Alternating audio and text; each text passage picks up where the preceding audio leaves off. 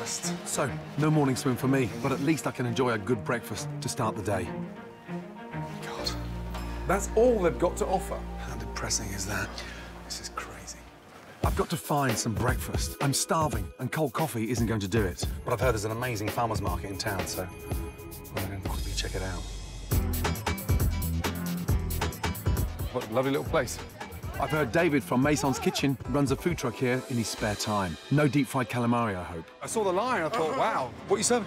We got quesadillas, best in New Mexico. Okay, brilliant. I have a little food truck with a buddy of mine, Chris. A little taste of New Mexico. This is one of our favorites right here, the cucumber lime. That's perfect. Little mint. But 100 degrees outside, that's perfect, right? Yes, Huh? My goodness. Man, that's delicious. So what's in the quesadilla? Cheese, green chili, and asadero cheese. Here you are, my friend. Thank you. Mmm. That was delicious. Yeah. Uh, David, that's better than anything I've eaten in the hotel. You know that? Yes, sir. Uh, delicious. Thank you, sir. Uh, the food truck is my creative outlet. It's a place for me to at least express my ideas without having any borders. Well done. I'll see you later. Uh, you, good sir. job. Thank Uh, you much, delicious. Enjoy the food, guys. Thank you. How are you feeling? I feel okay. I think it's important for you to understand the bigger picture. Okay. Yeah, can you come with me? Please, thank you.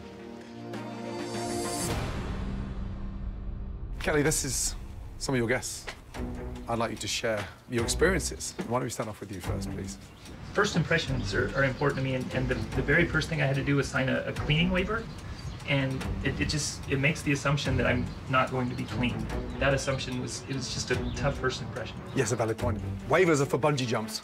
At your peril. Um, the whole thing for me wasn't to make you think that I didn't think that you were clean. It was I had someone come in and throw red wine all over the Venetian plaster, and I thought that I should charge them for that. But you're punishing every other guest on Well, the back I of the don't sins of one guest, and it's not right. You know, you can't penalise future business on the back of one idiot.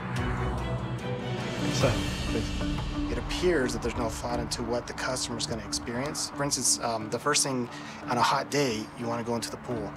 Um, and we looked out to the pool, and, it, and, it, and it's right now it's the same way. It's got um, a lot of leaves and it's dirty, so it- maybe it's not open. But how can it not be open? Yes, a valid point. Madam, please. We were in the lounge for dinner, and when you were singing, we couldn't have a conversation. It's just not appropriate for an upscale, intimate, fine dining experience. I feel like you're very focused on the performance, but you're not really focused on your guests. Very interesting. So, anything that goes wrong with the restaurant when you're singing, you're too busy singing and not caring about your guests. I would pay you a hundred bucks not to sing. As long as you are focused on your singing career and not on your restaurant and hotel career, my wife and I won't be back. I don't agree. I have quite a bit of people that come here to hear me sing. guest feedback is critical. It's about turning that negativity into something positive. Now, I'd like to introduce you to a very special lady, Nilou Motamed. She is the features director and the senior correspondent for Travel and Leisure magazine. Nilou, um, give us a little insight to your stay, please. One of the things that we look at is whether a hotel has a sense of place, whether it's maximizing the value that that beautiful setting that it's in has. You mentioned the pool. That's one great example of a moment where you have a potential great asset here that is being underutilized, and it's kind of underwhelming.